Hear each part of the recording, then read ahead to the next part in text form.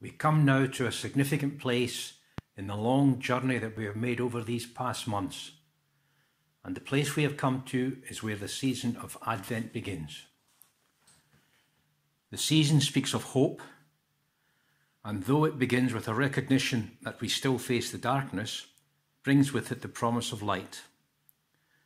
The first Sunday in Advent will, in years past, have echoed to the singing of ancient and inspiring words.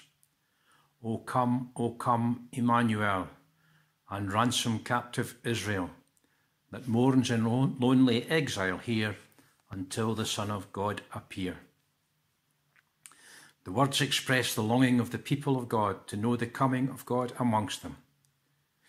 In anticipation of this promise being fulfilled, the people of God sing out, Rejoice, rejoice, Emmanuel, shall come to you, O Israel. In our hearts, the promise still resonates, and so we await the coming of God. Indeed, we may say that the season of Advent is a season of waiting and anticipation, and one that yields the promise of God. From ages past, no one has heard, no ear has perceived, no eye has seen any God beside you who works for those who wait for him. Isaiah 64.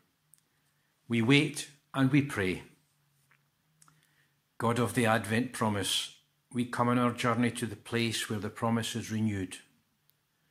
Even in the darkness, we look for the light of your presence to be revealed. Lord, in your mercy, hear our prayer. God of the Advent promise, we come on our journey to the place where hope is renewed.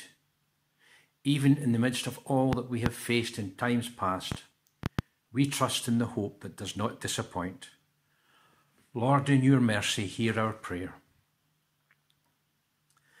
God of the Advent promise, we come on our journey to the place where we must wait for a time.